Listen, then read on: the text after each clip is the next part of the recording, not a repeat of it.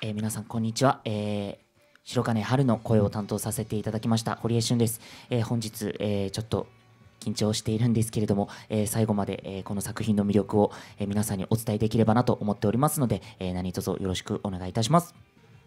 えーこの度有栖川沙織役を演じさせていただきます淵上舞と申します。どうもよろしくお願いいたします。やっぱりなかなかねあのこういう状況だったのでそんなにまあ今までみたいに終わった後にじゃあご飯でも行こうかとかね。そういうこともなかったですし、本当おしゃべりも最小限みたいな感じだったのでそうすね。本当にあのーなかなかやっぱり現場としてはお芝居としてはやりづらいところもあるなあなんてこう思ってはいたんですけれども、でもあの本当に何でしょうがっつりこうやって一緒にお芝居をさせていただくのが今回がおそらく初めて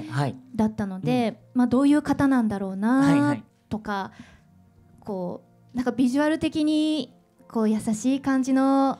可愛らしい感じの方なのかなとかこう思ってたんですけどそこからそう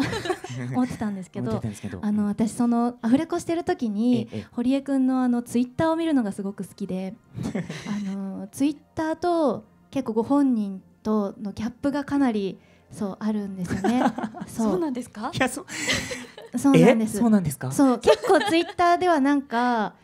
なんていうんですかこう。そうですね世の中を斜めに見たような発言だったりとか。あのなんか、はい。悪い言葉で言うとちょっと生きった感じなんいで。すやえちょっと待ってそんな風に思われてたんですか？新事実が。そうなんです。なのでなんか どっちなんだろうなってこうはいはい。最初はちょっと探り探りではあったんですが、でも本当にあの港トライブとしてずっとお芝居していく中でアフレコ中もちょこちょこおしゃべりしてあの仲良くなれたと私は思そうですね。優しくて可愛い方が本当なんだなと思っていただけたんじゃないかなと思うんですけれど。